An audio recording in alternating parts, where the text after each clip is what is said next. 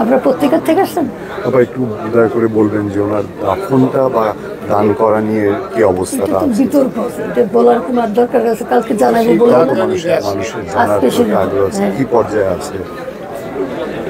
এখনও হয় নাই আজকের মধ্যে। ছেলে মেয়ে এবং বেশি দানের পক্ষে।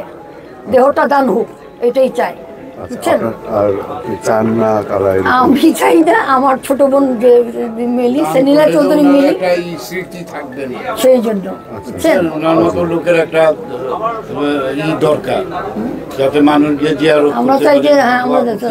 সবাই দাহ দান করলে তার হইতে হবে না। আমি চাই যে একটা স্মৃতিশোধ হবে শহরে বড় ভাইয়ের উপরে। দেশের মানুষ তাকে আগামী সু- প্রত্যেকটা মৃত্যুবার্ষিকীতে তাকে শ্রদ্ধা জানাবে না। আমরা তো তাই চাই।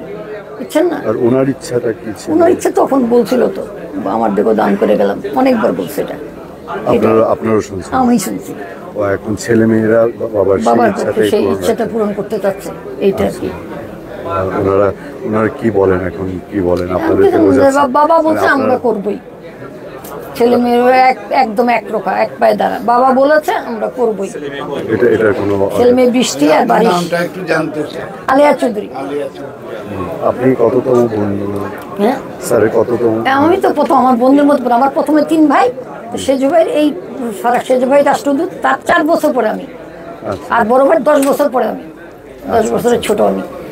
আমি মুক্তিযুদ্ধ সংগঠক আমি পঁচিশ জনকে পাঠিয়েছি। ওনার যে দেহটা দান করার যে ইচ্ছাটা হ্যাঁ। আপনার কি মনে হয়? আপনার কি মনে হয় না যে শ্রদ্ধা না আমি এটা আমি মানতে পারছি না কি। আমি মানতে মানা না আমি এটা মানতে পারছি না। মন থেকে শ্রদ্ধা হতে হয়ে যাচ্ছে। হ্যাঁ। মানুষ আর জানবে না স্মৃতিশোধ থাকবে না প্রে- আসবে প্রত্যেক বছর দেহ দান করলে তো এটা কেমন হবে? দেশবাসী পুরো দেশবাসী ভালো মনে গ্রহণ করবে না। পুরো দেশবাসী ভালো মনে আমি মনে করি পুরো দেশবাসী দেহ দান ভালো মনে করবে না আজকে কখন বসবেন আপনারা আবার? আমরা বুঝব যে কোনো সময় বুঝব। কালকে আপনারা জানতে পারবেন।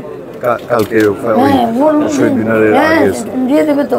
এখন আর কোনো কিছু জিজ্ঞেস করে লাভ নেই। কালকে জানতে চাইলে ওই শহীদ মিনার নিজেরা নিজেরা একে অন্যকে বোঝানোর চেষ্টা করছেন যে বেশিরভাগ তো রাজি হয়ে গেছে।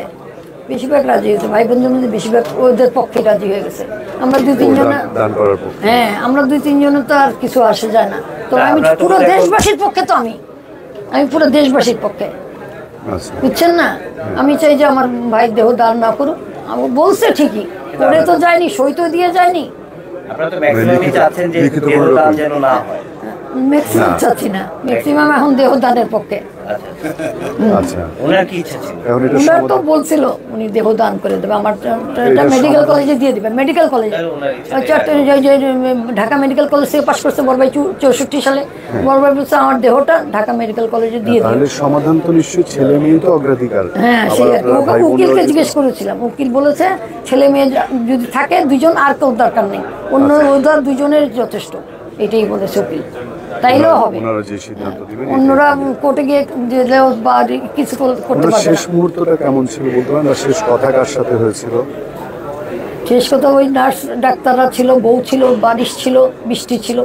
আমরা তো আমি চিটাং থেকে এসেছি আমাকে দেখতে দেয়নি। লাইফ সাপোর্টে হুম, না লাইফ ডায়ালিসিস হচ্ছিল তো ডায়ালিসিস বড় ভাই রেসপন্স করছিল। বড় ভাইকে জাফরুল্লাহ ডাকার পরে বড় ভাই নাকি রেসপন্স করেছে। সারা দিয়েছে। হ্যাঁ গতকাল- এই জন্য তো আশাবাদী ছিল সবাই। সাত ঘণ্টার ডায়ালিসিস হয়েছে। হ্যাঁ সাত ঘণ্টা ডায়ালিসিস হয়েছে। তাই তো একটু আশা করছিল সবাই। দোয়া মাহফিল হইল না সন্ধ্যার সময়? দোয়া মাহফিল হইল সবাই এত জন্য আমরা হাত তুললাম। আল্লাহ তুমি ফেলে দাও। আমি তার জন্য বারবার বলেছি আল্লাহ তুমি আমার বড় ভাইকে ফেলে দাও আমার জন্য না। সারা দেশবাসীর জন্য আল্লাহ তুমি ফেলে দাও আমার ভাইকে। আমার ভাইকে উনি করে তো তাড়াতাড়ি চলে গেল। নাসিকে উনি বেঁচে গেলেন দেখেন নাই? হ্যাঁ, নাসিম সাহেব আমাদের